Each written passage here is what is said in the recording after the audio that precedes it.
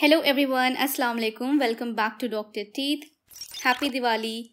Today we are going to learn a very important concept. How much do we need to reduce the tooth during tooth preparation? So based on the type of the prosthesis we are giving to the patient, you know, it can be all metal in some cases, it can be porcelain fused to metal in some cases, right? It can be metal free. So depending on the case, how much and what kind of prosthesis we are giving to our patients, we may need to reduce the tooth to a certain extent. And in this video, we will be seeing how much reduction is needed. You can find the notes of this video in the description box below. You can download that and you can stick it in your clinic or in your room for future reference. So let's get started.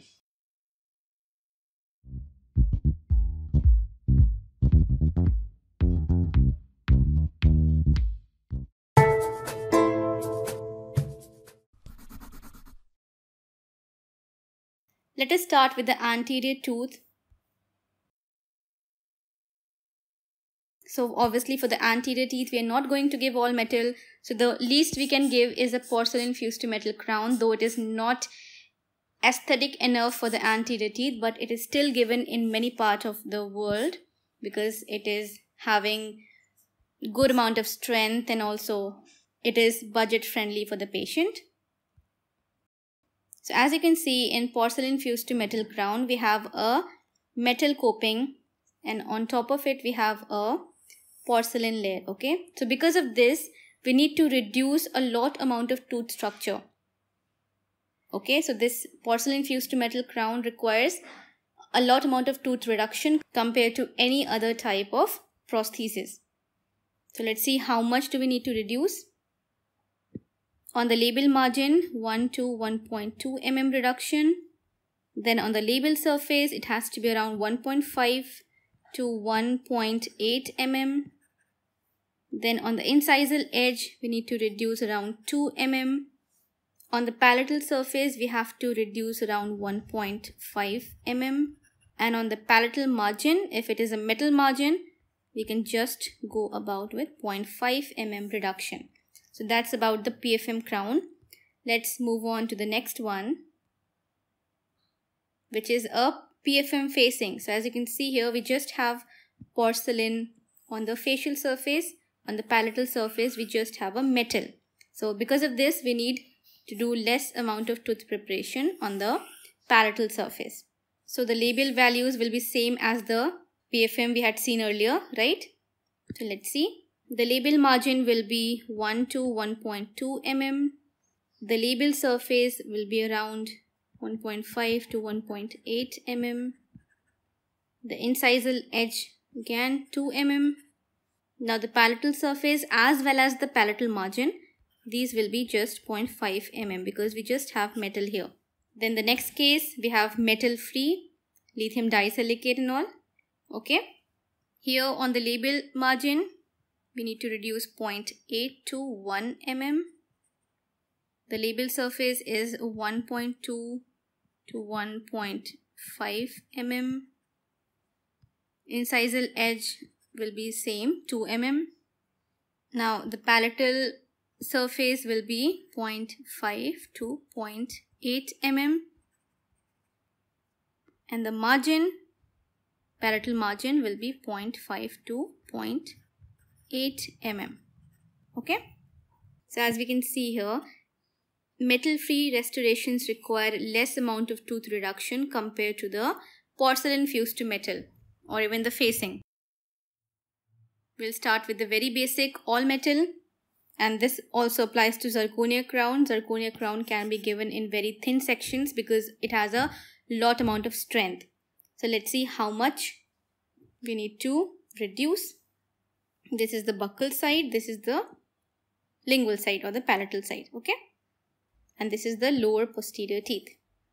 So in all metal or zirconia crown the tooth reduction has to be quite less i mean least compared to rest of the preparations. On the buccal margin 0.5 mm.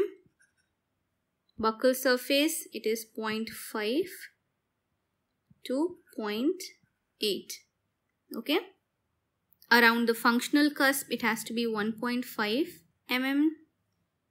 On the non-functional cusp, 1 mm.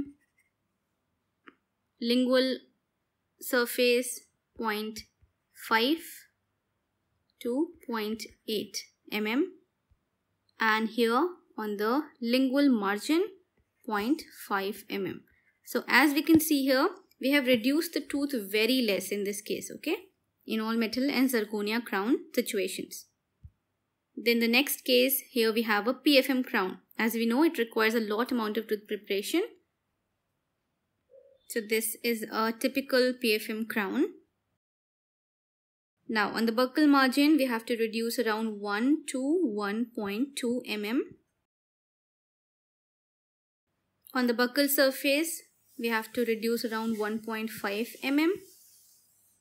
The functional cusp, 2 mm non-functional cusp 1.5 mm. The lingual or the palatal surface around 1.5 mm. And the palatal margin if it is in metal obviously we just need 0.5 mm. So this is about the PFM crown. Now PFM facing crown now here the buccal margin will be reduced to 1 to 1.2 mm.